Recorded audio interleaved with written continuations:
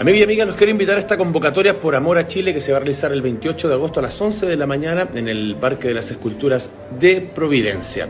Es una convocatoria deportiva familiar por la unión y la esperanza en Chile organizada por la Casa Ciudadana por el rechazo.